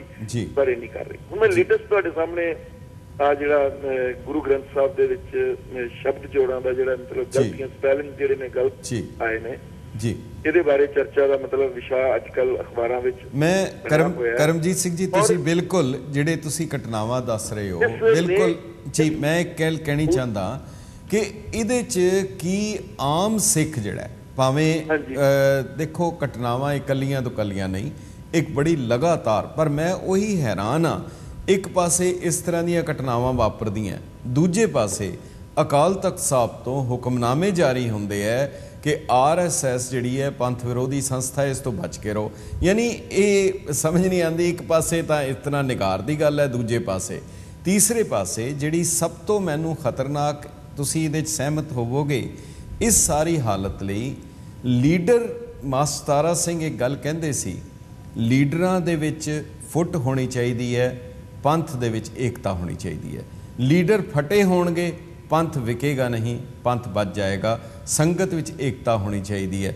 ਹੁਣ ਗੱਲ ਉਲਟ ਹੋ ਗਈ ਹੈ। ਲੀਡਰ ਭਾਵੇਂ ਵੱਖ-ਵੱਖ ਕਿਸਮ ਦੇ, ਉਹ ਆਪਸ ਵਿੱਚ ਗੱਠਜੋੜ ਕਰ ਲੈਂਦੇ ਏਕਤਾ ਕਰ ਲੈਂਦੇ ਹੈ, ਸੰਗਤ ਫੜ ਜਾਂਦੀ ਹੈ। ਕੀ ਕਾਰਨ ਹੈ ਕਿ ਸੰਗਤ, ਪੰਥ, ਭਾਵੇਂ ਉਹ ਕਲਕੱਤੇ ਦਾ ਹੈ, ਦਿੱਲੀ ਦਾ ਹੈ, ਪੰਜਾਬ ਦਾ ਹੈ, ਬਾਹਰ ਦਾ ਹੈ, ਉਹਦੇ ਵਿੱਚ ਤਾਂ ਇੱਕ ਗੁਰੂ ਗ੍ਰੰਥ, ਗੁਰੂ ਪੰਥ ਦੇ ਪ੍ਰਤੀ ਹੋਣਾ ਚਾਹੀਦਾ ਤੁਸੀਂ ਪੰਜਾਬ ਦੀਆਂ ਗੱਲਾਂ ਕੀਤੀਆਂ, ਹੁਣੇ ਪਿੱਛੇ ਦਿੱਲੀ ਗੁਰਦੁਆਰਾ ਸਟੇਜ ਦੇ ਉੱਤੋਂ ਹੀ ਗੁਰੂ ਸਾਹਿਬ ਦਾ ਪ੍ਰਕਾਸ਼ ਦਿਵਸ ਮਨਾਉਂਦਿਆਂ ਇੱਕ ਪੁਰਾਣਾ ਗ੍ਰੰਥੀ ਰਹਿ ਚੁੱਕਾ ਦਰਬਾਰ ਸਾਹਿਬ ਦਾ। ਉਹ ਕਹਿ ਰਿਹਾ ਕਿ ਸਾਨੂੰ ਗੁਰੂ ਸਾਹਿਬ ਦੇ ਪ੍ਰਕਾਸ਼ ਦਿਵਸ ਨਹੀਂ ਮਨਾਉਣੇ ਚਾਹੀਦੇ।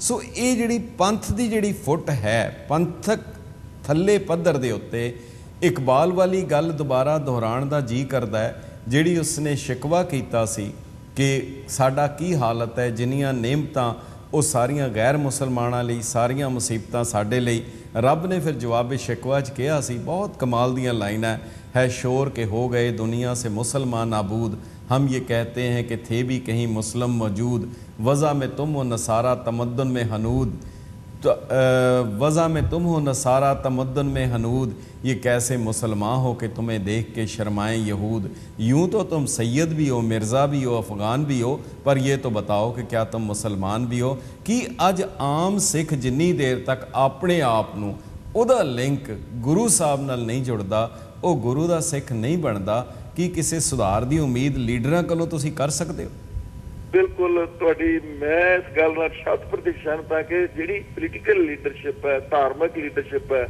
ਜੀ। ਉਹਦੇ ਤੋਂ ਤਾਂ ਮਤਲਬ ਕੋਈ ਬਹੁਤ ਜ਼ਿਆਦਾ ਪ੍ਰੈਜ਼ੈਂਟ ਲੀਡਰਸ਼ਿਪ ਤੋਂ ਤਾਂ ਬਹੁਤੀਆਂ ਉਮੀਦਾਂ ਨਹੀਂ। ਇਸੇ ਸ਼ੇਰ ਵਿੱਚ ਸ਼ਾਇਦ ਇਕਬਾਲ ਦਾ ਹੀ ਹੈ ਨਹਰੀ ਫੈਜ਼ ਹੈ। ਜੀ। ਸੌਰੀ ਬੰਦ ਕੀਏ ਜਾ ਰਹੇ ਹੈ ਬਾਜ਼ਾਰੇ ਸੁਖਨ। ਜੀ। ਹਮ ਕਹਾਂ ਵੇਚਨੇ ਅਲਫਾਜ਼ੇ ਕਹਰ ਜਾਏਗੇ। ਜੀ ਜਿਨ੍ਹਾਂ ਨੂੰ ਜ਼ਿੰਦਗੀ ਦੀ ਗਹਿਰਾਈਆਂ ਦੀ ਸਮਝ ਸੀਗੀ ਜੀ। ਜਿਨ੍ਹਾਂ ਨੂੰ ਤਤ ਗਿਆਨ ਦੀ ਸਮਝ ਸੀਗੀ। ਉਹ ਆਪਣੀਆਂ ਦੁਕਾਨਾਂ ਜਿਹੜੀਆਂ ਨੇ ਉਹ ਬੰਦ ਕਰਦੇ ਜਾ ਰਹੇ ਨੇ। ਅਸੀਂ ਆਪਣੇ ਜਿਹੜੇ ਹੀਰੇ ਮੋਤੀ ਸ਼ਬਦਾਂ ਦੇ ਕਿਹਦੇ ਅੱਗੇ ਜਾ ਕੇ ਰੱਖੀਏ?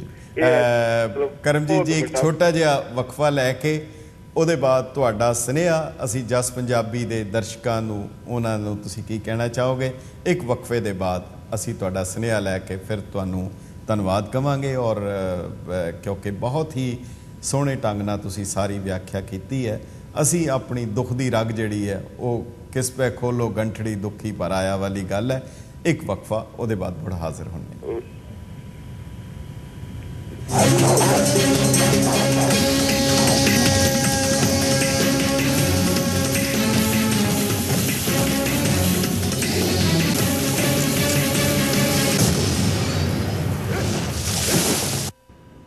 ਜਸ ਪੰਜਾਬੀ ਦੇ ਸੂਝਵਾਨ ਦਰਸ਼ਕਾਂ ਦਾ ਵਕਫੇ ਦੇ ਬਾਅਦ ਨਿੱਘਾ ਸਵਾਗਤ ਹੈ। ਅਖੀਰ ਦੇ ਵਿੱਚ ਸਾ ਕਰਮਜੀਤ ਸਿੰਘ ਜੀ, ਸਿਰਫ ਅਸੀਂ ਇੱਕ ਸਵਾਲ ਦਾ ਛੋਟਾ ਜਿਹਾ ਜਵਾਬ ਔਰ ਤੁਹਾਡਾ ਸਨੇਹਾ ਸਾਡੇ ਇਸ ਚੈਨਲ ਦੇ ਰਾਹੀਂ ਅਮਰੀਕਾ ਔਰ ਕੈਨੇਡਾ ਦੇ ਦਰਸ਼ਕਾਂ ਨੂੰ ਕੀ ਦੇਣਾ ਚਾਹੁੰਦੇ ਹੋ? ਕੀ ਅਸੀਂ ਚਿੰਤਾ ਕਰੀਏ ਜਾਂ ਚਿੰਤਨ ਕਰੀਏ? ਕਿ ਸਾਨੂੰ ਭਰੋਸਾ ਅਕਾਲ ਪੁਰਖ ਤੇ ਗੁਰੂ ਸਾਹਿਬ ਦੇ ਉਸ ਜਿਹੜਾ ਉਹਨਾਂ ਦਾ ਬਚਨ ਹੈ ਉਸ ਤੇ ਭਰੋਸਾ ਰੱਖ ਕੇ ਅਸੀਂ ਚਿੰਤਾ ਮੁਕਤ ਹੋ ਕੇ ਚਿੰਤਨ ਜ਼ਰੂਰ ਕਰੀਏ। ਇਹਦੇ ਬਾਰੇ ਤੁਸੀਂ ਕੀ ਸੁਨੇਹਾ ਦੇਣਾ ਚਾਹੁੰਦੇ ਹੋ? ਦੇਖੋ ਜਦ ਪੰਜਾਬੀ ਟੀਵੀ ਚੈਨਲ ਦੇ ਸਰੋਤੇ ਜਿਹੜੇ ਵੀ ਸੁਣ ਰਹੇ ਨੇ ਮੈਂ ਤਾਂ ਇਹ ਕਹਿਣਾ ਚਾਹੁੰਦਾ ਕਿ ਇਹ ਠੀਕ ਹੈ ਕਿ ਸਮੇਂ ਦੇ ਹਾਕਮਾਂ ਨੇ ਸਾਡੇ ਦਰਦ ਨੂੰ ਬੇਪਛਾਣ ਕਰਨ ਵਿੱਚ ਕੋਈ ਕਸਰ ਨਹੀਂ ਛੱਡੀ। ਪਰ ਆਪਣਿਆਂ ਨੇ ਵੀ ਤਾਂ ਇਸ ਉੱਤੇ ਧੁੰਦ ਦੀ ਇੱਕ ਵੱਡੀ ਚਾਦਰ ਵਿਛਾਈ ਹੋਈ ਹੈ। ਹੂੰ ਹੂੰ ਹੂੰ। ਸਰੋਤੇ ਵੀਰੋ ਸਾਨੂੰ ਇਸ ਵੇਲੇ ਉਹਨਾਂ ਧਾਰਮਿਕ ਤੇ ਰਾਜਸੀ ਆਗੂਆਂ ਦੀ ਤਲਾਸ਼ ਹੈ ਜੋ ਸਾਡੀ ਰੂਹ ਤੇ ਸਾਡੀ ਦੇਹ ਲਈ ਸਰਸਬਜ਼ ਚਸ਼ਮਾ ਬਣੇ ਜੋ। ਸਾਡੇ ਅੰਦਰ ਸਦੀਵੀ ਅਹਿਸਾਸ ਦੇ ਦੀਪ ਜਗਾਉਣ ਔਰ। ਇਹ ਤੁਹਾਡੇ ਕੋਲੋਂ ਅਸੀਂ ਉਮੀਦ ਰੱਖਦੇ ਹਾਂ। ਕਿ ਤੁਸੀਂ ਪੰਥ ਦੀ ਰਾਜਨੀਤਿਕ ਤੇ ਧਾਰਮਿਕ ਜ਼ਿੰਦਗੀ ਵਿੱਚ ਤਤ ਗਿਆਨ ਤਤ ਧਿਆਨ ਤੇ ਤਤ ਬੁੱਧ ਦੇ ਡੂੰਘੇ ਰਾਜ ਜਿਹੜੇ ਨੇ। ਉਹ ਖਾਲਸਾ ਪੰਥ ਦੇ ਸਾਹਮਣੇ ਲਿਆ ਬਹੁਤ ਬਹੁਤ ਵਾਹਿਗੁਰੂ ਜੀ ਕੀ ਫਤਿਹ। ਬਹੁਤ ਬਹੁਤ ਧੰਨਵਾਦ ਸਾ ਕਰਮਜੀਤ ਸਿੰਘ ਜੀ ਆਪ ਦਾ ਇਸ ਪ੍ਰੋਗਰਾਮ ਵਿੱਚ ਸ਼ਾਮਲ ਹੋਣ ਲਈ ਔਰ ਉਮੀਦ ਹੈ ਮੁੜ ਕਿਸੇ ਹੋਰ ਵੇਲੇ ਆਪ ਜ਼ਰੂਰ ਕਿਰਪਾ ਕਰੋਗੇ ਵਾਹਿਗੁਰੂ ਜੀ ਕਾ ਖਾਲਸਾ ਵਾਹਿਗੁਰੂ ਜੀ ਵਾਹਿਗੁਰੂ ਜੀ ਪਿਆਰੇ ਦਰਸ਼ਕੋ ਤੁਸੀਂ ਸਾਨੂੰ ਕਾਲ ਕਰ ਸਕਦੇ ਹੋ 7187865221 ਦੇ ਉੱਤੇ hello hello hello hello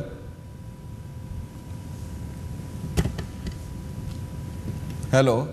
Hello Waheguru ji ਕਾ ਖਾਲਸਾ ਵਾਹਿਗੁਰੂ ਜੀ ਕੀ ਫਤਿਹ। ਵਾਹਿਗੁਰੂ ਜੀ ਕੀ ਫਤਿਹ। ਅਤੇ ਲਾਂਬਾ ਸਾਹਿਬ ਅੱਜ ਥੋੜਾ ਜਿਹਾ ਮੈਨੂੰ ਟਾਈਮ ਜ਼ਿਆਦਾ ਦੇਣਾ। ਟਾਈਮ ਬਹੁਤ ਥੋੜਾ ਹੈ। ਅੱਜ ਘੱਟ ਲੈ ਲਓ ਫਿਰ ਕਿਸ ਮੈਂ ਥੋੜਾ ਹੀ ਲੈ ਲੈਣਾ ਪਲੀਜ਼ ਹਾਂਜੀ ਮੈਂ ਕੁਝ ਸੈਕਿੰਡ ਮੈਂ ਤੁਹਾਡੇ ਨਾਲ ਬਿਲਕੁਲ ਸਹਿਮਤ ਹਾਂ ਕਿ ਸਾਨੂੰ ਚਿੰਤਨ ਦੀ ਜ਼ਰੂਰਤ ਹੈ 네ਗੇਟਿਵਿਟੀ ਬਿਲਕੁਲ ਨਹੀਂ। ਸੋਚਣੀ ਚਾਹੀਦੀ। ਚੜ੍ਹਦੀ। ਕਲਾ ਚ ਰਹਿਣਾ ਚਾਹੀਦਾ। ਜੀ। ਤੇ ਗੁਰੂ ਮਹਾਰਾਜ ਦਾ ਆਸਰਾ ਲੈਣਾ ਚਾਹੀਦਾ। ਜੀ। ਠੀਕ ਹੈ। ਤੇ ਤੇ ਪੋਜ਼ਿਟਿਵਿਟੀ ਹਮੇਸ਼ਾ ਰੱਖਣੀ ਚਾਹੀਦੀ ਹੈ। ਜੀ। ਮੈਂ ਤੁਹਾਨੂੰ ਇੱਕ ਛੋਟੀ ਜਿਹੀ ਐਗਜ਼ਾਮਪਲ ਦੇਣਾ ਜੀ। ਕਿ ਅਰਲੀ 50s ਦੇ ਵਿੱਚ ਮੈਂ ਕਲਕੱਤੇ ਰਹਿ- ਰਹਿੰਦਾ ਸੀ। ਤੇ ਹੁਗਲੀ ਦੇ ਕਿਨਾਰੇ ਫੋਰਟ ਵਿਲੀਅਮ ਦੇ ਕੋਲ ਇੱਕ ਟੈਕਸੀ ਡਰਾਈਵਰ ਨੂੰ ਸਿੱਖ ਟੈਕਸੀ ਡਰਾਈਵਰ ਨੂੰ ਕੋਈ ਮੈਂ ਬੋਲ ਨਹੀਂ ਸਕਦਾ ਫਿਰ ਸਹੀ। ਚਲੋ ਬਹੁਤ ਬਹੁਤ ਧੰਨਵਾਦ। ਧੰਨਵਾਦ। ਗੁਮਨਾਮ ਜੀ ਆਪਣਾ ਨਾਂ ਨਹੀਂ ਦੱਸਦੇ। ਬਹੁਤ ਬਹੁਤ ਸ਼ੁਕਰੀਆ। ਹੈਲੋ। ਹੈਲੋ। ਹੈਲੋ ਹਾਂਜੀ ਵਾਹਿਗੁਰੂ ਖਾਲਸਾ ਵਾਹਿਗੁਰੂ- ਜੀ ਕੀ ਫਤਿਹ। ਕੌਣ ਬੋਲ ਰਹੇ ਵੀਰ ਜੀ? ਮੈਂ ਲੰਬਾ ਸਾਹਿਬ ਦਲਜੀਤ ਬੋਲ ਰਿਹਾ ਜੀ ਸਰਲਕ ਤੋਂ। ਹਾਂਜੀ ਵੀਰ ਜੀ ਹਾਂਜੀ ਹਾਂਜੀ ਹੁਕਮ ਕਰੋ। ਆਪ ਜੀ ਦਾ ਮੁੱਦਾ ਜਿਹੜਾ ਹੈ ਪੰਥ ਵਾਸਤੇ ਬਹੁਤ ਹੀ ਗੰਭੀਰ ਸਮੱਸਿਆ ਇਹ ਹੈਗੀ ਹੈ। ਜੀ। ਤੇ ਅੱਜ ਤੋਂ ਪਹਿਲਾਂ ਜਿਹੜੇ ਮਸੰਦ ਗੁਰਦੁਆਰਿਆਂ ਵਿੱਚੋਂ ਕੱਢੇ ਸਨ ਜੀ। ਉਹ ਮਸੰਦ ਹੁਣ ਫੇਰ ਆ ਗਏ ਨੇ ਜੀ। ਜੀ ਜੀ। ਸਾਨੂੰ ਇਹਦੇ ਲਈ ਹੰਬਲਾ ਮਾਰਨ ਦੀ ਵੀ ਲੋੜ ਆ ਤੇ ਗੁਰੂ ਤੇ ਪੂਰਨ ਵਿਸ਼ਵਾਸ ਰੱਖਣ ਦੀ ਵੀ ਲੋੜ ਆ। ਹੰਬਲਾ ਜ਼ਰੂਰ ਮਾਰਨਾ ਚਾਹੀਦਾ ਹਰ ਸਿੱਖ ਜਿੱਥੇ ਜਿੱਥੇ ਵੀ ਬੈਠਾ। ਜੀ। ਉਹ ਇਸ ਨੂੰ ਜਿਸ ਤਰ੍ਹਾਂ ਕਿਸੇ ਚੀਜ਼ ਨੂੰ ਰੀਬਿਲਡ ਕਰੀਦਾ ਇਸ ਨੂੰ ਹੁਣ ਦੁਬਾਰਾ ਫੇਰ ਰੀਬਿਲਡ ਕਰਨ ਦੀ ਲੋੜ ਆ। ਇਹਦੇ ਵਿੱਚ ਇੰਨੀ ਕਰਪਸ਼ਨ ਤੇ ਹਰ ਚੀਜ਼ ਇਹਦੇ ਵਿੱਚ ਆ ਗਈ ਹੈ। ਜੀ ਜੀ ਜੀ ਜੀ ਜੀ ਜੀ। ਠੀਕ ਇਹ ਉਹ ਮਸੰਦ ਫੇਰ ਆ ਗਏ ਹੈਗੇ ਆ ਜੀ। ਤੇ ਬਹੁਤ ਬਹੁਤ ਧੰਨਵਾਦ ਤੁਹਾਡਾ। ਸ਼ੁਕਰੀਆ। Thank you hello. ਹਾਂਜੀ ਵਾਹਿਗੁਰੂ ਖਾਲਸਾ ਵਾਹਿਗੁਰੂ ਜੀ ਕੀ ਫਤਿਹ। ਵਾਹਿਗੁਰੂ ਜੀ ਕੀ ਫਤਿਹ। ਪਿਆਰਾ ਸਿੰਘ ਪਿਆਰਾ ਸਿੰਘ ਬੋਲਦਾ ਜੀ। ਜੀ ਜੀ ਆਇਆਂ ਨੂੰ। ਮੈਂ ਢਾਈ ਲਫ਼ਜ਼ ਬੋਲਣੇ ਆ, ਧੰਨਵਾਦ ਕਰਨਾ। ਹਾਂਜੀ ਹੁਕਮ ਕਰੋ। ਅੱਜ ਜੋ ਕਰਮਜੀਤ ਸਿੰਘ ਜੀ ਜੀ। ਜੋ ਜਸਟ ਟੀਵੀ ਦੇ ਉੱਤੇ ਜੀ। ਸਿੱਖ ਸਰੂਪ ਸਿੱਖ। ਰਹਿਤ ਪੰਥ ਦੇ ਜਜ਼ਬੇ ਵਾਸਤੇ। ਵਿਚਾਰ ਆਦਾਨ ਪ੍ਰਦਾਨ ਕੀਤੇ ਹੈ। ਜੀ। ਉਹ ਸਿੱਖ ਸਮੁਦਾਇ ਲਈ ਜੀ। ਸਵੈ ਜਾਗਰਤੀ ਜੀ। ਜੋ ਸੰਦੇਸ਼ ਦਿੱਤਾ ਹੈ ਜੀ। ਉਹ ਨਾਲ ਤਕੜਾ ਹਲਣਾ ਦਿੱਤਾ ਹੈ। ਉਹਦੇ ਵਾਸਤੇ ਧੰਨਵਾਦ ਲਈ ਮੇਰੇ ਪਾਸ ਕੋਈ ਸ਼ਬਦ ਨਹੀਂ। ਜੀ ਜੀ। ਬਹੁਤ ਇਹੋ ਬਹੁਤ ਜਿਹਾ ਹਮੇਸ਼ਾ ਇਹ ਤੁਸੀਂ ਡਾਇਲੌਗ ਇਹੋ ਜਿਹਾ ਗੁਰਮੁਖਾਂ ਨਾਲ। ਰਚਾਓ। ਤਾਂ ਕਿ ਸਾਨੂੰ ਸੁੱਤਿਆਂ ਨੂੰ ਨੀਂਦ ਆ ਜਾਏ। ਜੀ। ਤੇ ਸੁੱਤਿਆਂ ਨੂੰ ਨੀਂਦ ਨਹੀਂ ਆ ਜਾਏ ਨੀਂਦ ਖੁੱਲ ਜਾਏ। ਜੀ ਜੀ ਜੀ ਜੀ ਜੀ ਬਹੁਤ ਅੱਛਾ ਜੀ ਬਹੁਤ ਬਹੁਤ ਧੰਨਵਾਦ ਤੁਹਾਡਾ। ਸ਼ੁਕਰੀਆ। ਥੈਂਕ ਯੂ ਹੈਲੋ ਹਾਂਜੀ ਸਤਿ ਸ਼੍ਰੀ ਅਕਾਲ ਜੀ ਲਾਮਾ ਸਾਹਿਬ। ਸਤਿ ਸ਼੍ਰੀ ਅਕਾਲ ਰਾਜਕੁਮਾਰ ਜੀ। ਜੀ ਆਇਆਂ ਨੂੰ। ਲਾਂਬਾ ਸਾਹਿਬ ਮੇਰੀ ਗੁਜ਼ਾਰਿਸ਼ ਹੈ ਕਿ ਤੁਸੀਂ ਮੁੱਦੇ ਬਹੁਤ ਸੋਹਣੇ ਗਾਉਂਦੇ ਹੋ। ਜੀ। ਮੈਂ ਤੁਹਾਡੇ ਹੁੰਦੇ ਸਮਝੋ ਪੰਥ ਨਾਲ ਜੁੜੇ ਹੋਣ। ਜੀ। ਜਾਂ ਪੰਜਾਬ ਨਾਲ ਜੁੜੇ ਹੋਣ। ਜੀ। ਮੈਨੂੰ ਇੱਕ ਇਹ ਗੱਲ ਦੱਸੋ ਕਿ ਪੰਜਾਬ ਵਿੱਚ ਸਾਡੇ ਪੰਜਾਬ ਸਰਕਾਰ ਤੇ ਅਕਾਲੀ ਦਲ ਤੇ ਸ਼੍ਰੋਮਣੀ ਗੁਰਦੁਆਰਾ ਕਮੇਟੀ ਜੀ। ਇਹ ਕੀ ਉਪਰਾਲੇ ਕਰ ਰਿਹਾ? ਪੰਜਾਬੀ ਪਹਿਲੀ ਗੱਲ ਤਾਂ ਮੈਂ ਬੋਲੀ ਨੂੰ ਲੈਣਾ ਸਾਡੀ ਬੋਲੀ ਵਾਸਤੇ ਇੱਕ ਵੱਡਾ ਸਾਡੀ ਬਹੁਤ ਵੱਡੀ ਗੱਲ ਸੀ ਲੋਕੀ ਸਮਝਦੇ ਸੀ ਕਿ ਅਸੀਂ ਇੰਗਲਿਸ਼ ਸਕੂਲ ਦੇ ਵਿੱਚ ਅਸੀਂ ਬੱਚੇ ਪਾਤੇ ਆ। ਜੀ। ਉਹ ਇੰਗਲਿਸ਼ ਸਾਡੇ ਤੇ ਹਾਵੀ ਹੋ ਕੇ ਤੇ ਸਾਡੇ ਬੱਚੇ ਕੋਲ ਪੰਜਾਬੀ ਖੋਲੀ ਪੰਜਾਬੀ ਦੇ ਨਾਲ ਨਾਲ ਪੰਜਾਬੀਅਤ ਵੀ ਖੋਈ ਜਾ ਰਹੀ ਹੈ। ਬਿਲਕੁਲ ਬਿਲਕੁਲ ਤੇ ਮੈਂ ਠੀਕ ਤੇ ਦੇਖੋ ਮੈਂ ਤੇ ਇੱਕ ਮੁੱਢਲਾ ਕੰਮ ਜਿਹੜਾ ਕੀਤਾ ਹੈ ਸਾਡੇ ਬੱਚੇ ਮੇਰੇ ਬੱਚੇ ਤਿੰਨ ਹੈ। ਜੀ।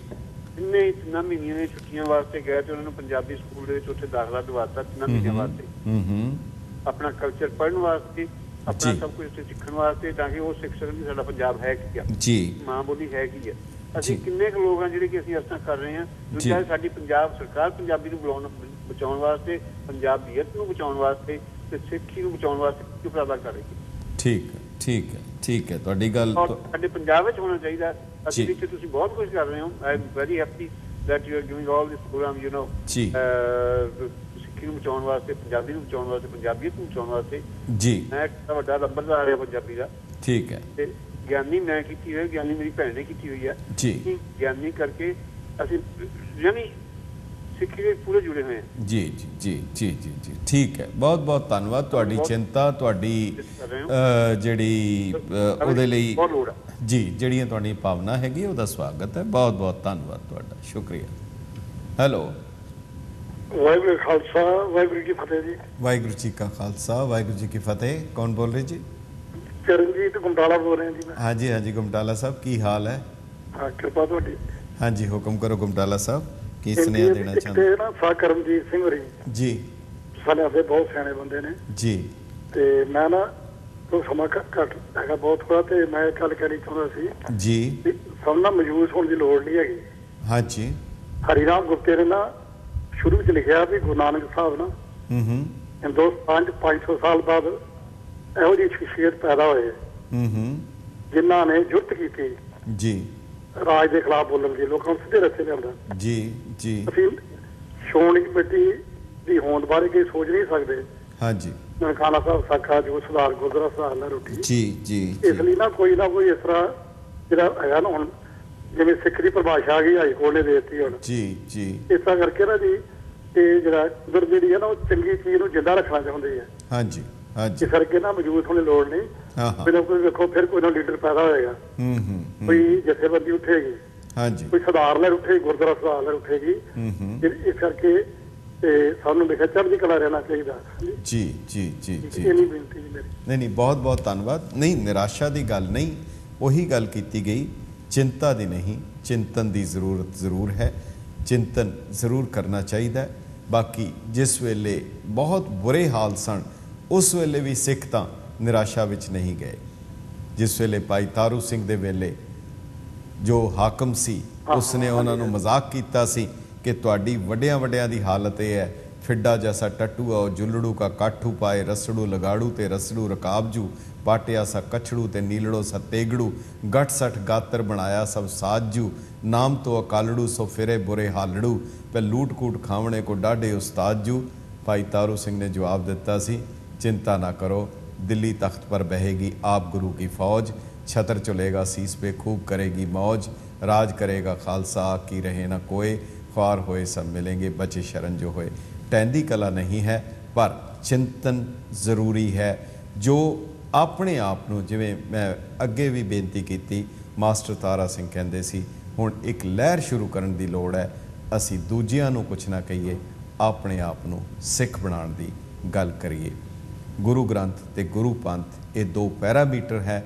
ਇਸ ਦੇ ਬਾਰੇ ਪੰਥਕ ਕਵੀ ਬਰਕਤ ਨੇ ਜਾਂ ਤੇਜਾ ਸਿੰਘ ਸਾਬਰ ਨੇ ਉਹਨਾਂ ਨੇ ਮਿਲ ਕੇ ਜੋ ਕਿਹਾ, ਉਹਨਾਂ ਨੇ ਕਿਹਾ ਸੀ, ਨਿਸ਼ਾਨ ਸਾਹਿਬ ਦੀ ਸ਼ਾਨ ਹੈ ਕਹਿੰਦੀ, ਸਿੰਘਾਂ ਦੀ ਕਿਰਪਾਨ ਹੈ ਕਹਿੰਦੀ, ਸੰਗਤ ਕਰਕੇ ਮਾਣ ਹੈ ਕਹਿੰਦੀ, ਕਿ ਜੋ ਬੋਲੇ ਸੋ ਹੋਵੇ ਨਿਹਾਲ, ਪੰਥ ਦਾ ਰਾਖਾ ਪੁਰਖ ਅਕਾਲ, ਸਿੱਖ ਦੀ ਹਸਤੀ ਪੰਥ ਦੇ ਨਾਲ, ਪੰਥ ਜੀਵੇ ਗੁਰੂ ਗ੍ਰੰਥ ਦੇ ਨਾਲ, ਜੋ ਬੋਲੇ ਸੋ ਹੋਵੇ ਨਿਹਾਲ। ਸੋ ਇਹ ਪ੍ਰੋਗਰਾਮ, ਇਹ ਮੁੱਦਾ ਪੰਥਕ ਸੰਸਥਾਵਾਂ, ਪੰਥਕ ਨਿਸ਼ਾਨੇ, ਪੰਥ ਦਾ ਮਾਜ਼ੀ, ਉਹਦਾ ਭੂਤਕਾਲ, ਵਰਤਮਾਨ ਔਰ ਭਵਿੱਖ ਬਾਰੇ ਅਸੀਂ ਆਪ ਨਾਲ ਵਿਚਾਰ ਸਾਂਝੇ ਕੀਤੇ। ਤੁਸੀਂ ਸਾਨੂੰ ਜ਼ਰੂਰ ਈਮੇਲ ਕਰੋ info@justpunjabi.com lamba@justpunjabi.com ਦੇ ਉੱਤੇ। ਇੱਕ ਹੋਰ ਪ੍ਰੋਗਰਾਮ ਲੈ ਕੇ ਮੁੜ ਈਸਟਰਨ ਟਾਈਮ 8:30 ਵਜੇ ਕੱਲ ਫਿਰ ਹਾਜ਼ਰ ਹੋਵਾਂਗੇ। ਤਦ ਤੱਕ ਇਜਾਜ਼ਤ ਦਿਓ। ਬਹੁਤ ਬਹੁਤ ਸ਼ੁਕਰੀਆ। ਧੰਨਵਾਦ।